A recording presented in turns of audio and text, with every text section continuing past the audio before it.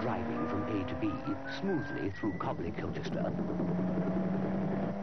Tracking firmly on all fours around Snake Pass. Totally in control over Helvellyn and through the Mendips.